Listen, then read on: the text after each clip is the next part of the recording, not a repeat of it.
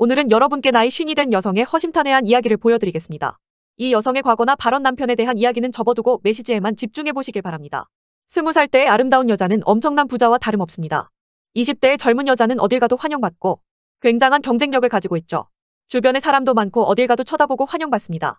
하지만 그 시간은 너무나 짧고 유한하고 다시는 돌아오지 않는 날들이에요. 세월이 흐르면서 이 귀함 재산이 점점 사라집니다. 근데 요즘 보면 이 소중한 젊은 시기에 이상한 사상에 빠져서 자신의 가치를 스스로 무너뜨리는 여자가 많아요. 저는 이런 FM들을 보면 너무 안타까워요. 자기 인생에서 가장 아름다울 시기에 일부러 이상한 차림새를 하고 분노하면서 사는 동생들에게 이 말을 꼭 해주고 싶습니다. 탈코르셋 그거 어차피 금방 강제로 하게 됩니다. 아무리 코르셋을 걸치고 화장을 이쁘게 하고 꾸며도 아무도 쳐다보지 않는 시기가 온다고요. 자기 인생에 한 번밖에 없는 이 소중한 시기를 즐기세요. 젊은 여자라는 메리트는 돈 주고도 못 사는 거예요. 하루하루 나이를 들어갈수록 본인의 재산이 줄어든다고 생각하시면 되는 겁니다. 제가 이런 말을 하면 흉자라는 소리를 들을 건데 그건 참 웃긴 말이죠. 흉자라는 건 남자를 흉내낸다는 말인데 사실 남자를 흉내내는 건 FM들 본인이잖아요. 머리 깎고 탈코르셋해서 남자랑 똑같아지고 싶은 마음 그게 흉자잖아요. 부디 여성으로서 행복한 인생을 살기 바래요. 그래야 여성들 본인들이 행복해집니다 라는 말을 하는 언니가 있습니다. 정말 뼈가 되고 살이 되는 발언들에서 똑똑함이 느껴지지 않습니까? 실제로 우리 FM들은 나보다 10살 어린 여동생 보고 있으면 착잡하다. 10살 어린 동생에게 열등감 느낀다는 거 인지하기 시작하면 세상 참 비참해지는 거 알아? 대학 다닐 때부터 FM에서 연애 같은 거 생각도 해본 적 없고 꾸민다는 거 생각해 본 적도 없이 이렇게 사는 게 맞다 생각했는데 올해 새내기였던 동생 인스타 보니까 남친 생긴 것 같더라.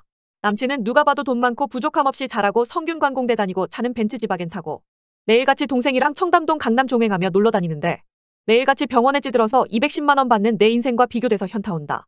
나는 25일 월급 들어오는 날이라 소소하게 맥주 한 캔 하고 잤는데 동생은 내 월급보다 5배 비싼 가방 선물 받고 남친 사랑해 라는 스토리 올렸네. 라는 우리 여성의 한탄을 보시죠. 현타 올만 한해 나도 어릴 때는 좀 즐겨놓을 걸이라는 후회를 가끔 한다. 충분히 열등감 느낄 수 있어 동생 나이대로 다시 돌아갈 수 없잖아. 솔직히 나도 나랑 다른 인생 사는 그런 여자들 보면 부럽기도 해 여샤 그럴 수 있어. 라고 말하며 젊은 동생을 부러워하는 우리 여성이 있습니다. 동생은 새내기라 했고 자신과 10살 차이가 난다 했으니 언니년의 나이는 서른이겠네요.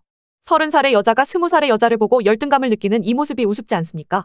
지금 이 영상을 보는 이 순간이 앞으로의 여러분 인생에서 가장 젊은 순간입니다. 시간은 빠르게 흐르고 지금 이 순간에도 여러분의 재산은 점점 사라지고 있죠. 여성분들 명심하세요. FM이 여러분의 인생을 대신해서 살아주지 않습니다. FM을 한다고 해서 인생이 윤택해지고 행복해지지 않습니다. 오히려 10살 어린 동생의 삶을 부러워하고 질투하고 열등감만 불러일으킬 뿐이죠. 여성으로서 행복한 인생을 살길 바랍니다. 이상한 글 쓰고 분노하고 이상한 글 공유하고 화내면서 살지 말고 여러분의 인생을 사세요. 영상 여기서 마칩니다. 여러분의 구독과 좋아요는 은희의 민트 초코 아이스크림 값에 커다란 도움이 됩니다. 오늘의 한 줄 요약. 크리스마스 케이크는 크리스마스가 지나면 팔리지 않는다.